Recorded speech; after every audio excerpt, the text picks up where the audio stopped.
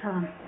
Bugünləri deyəcəyim dərs planşetlə bağlıdır. Deyim dərslər əsasən e, bağlıdır yeni işə qəbul olunanlar, yəni istehsalatla bağlı.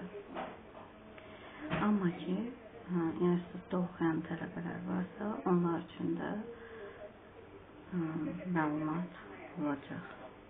Yəni izləyərsiniz, izlədikdə görəcəksiniz.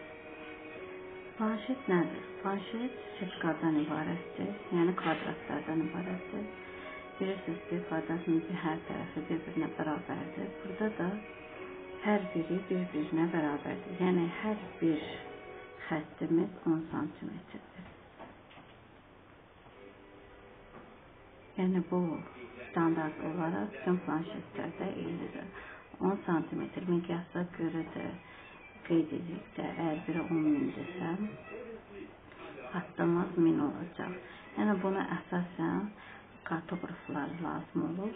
Çünki siz işə başladıqda sizə planşet lazım olacaq. Planşeti də istifadə etmək üçün əlinizdə olmağınız üçün kartoqraflara müraciət olunur. Verilən sahənin planşeti hazırlanır. Yəni siz planşeti əlinizə aldıqda belə bir e, yəni görüntüyə görüntü çıxacaq. Yəni e, özlərdən ibarət olacaq, quyulardan ibarət olacaq və kvadratlardan ibarət olacaq. Özlərinin də həmişə nömrələri olur. E, məsələn, öz 5, öz 14, yəni özlərində nömrələri olur, quyularında nömrələri olur. Kvadratların əlbəttə ki, kvadratda da siz görməyəcəksiniz ki, orada yazılsın 10 sm. Mən bunu sizin üçün yazmışam ki, görəsiniz. Yəni burada gördüyünüz kimi var sərbəst quyular, var maili quyular, yəni özdən qazılan quyular. Özün üstündə nöqtələr görürsünüz. Bu nöqtələr o deməkdir ki, yəni həmin nöqtələrdən quyular qazılıb. Özün üstündə əgər quyu yazılıbsa, deməli o şaqili quyudur yox özdən kənara maili quyu çəkilibsə, yəni xətlə bu maili quyu deməkdir. Yəni maili quyuna, aşağı quyunu necə aid edə bilərsiniz? Şəkildən belənci qayda edə bilirsiniz.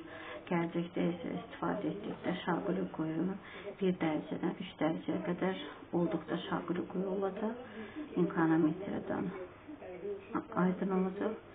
Maili isə 3 dərəcə 15 dəqiqədən artıq yuxarı artmaqla maili quyuları hesab ediləcək.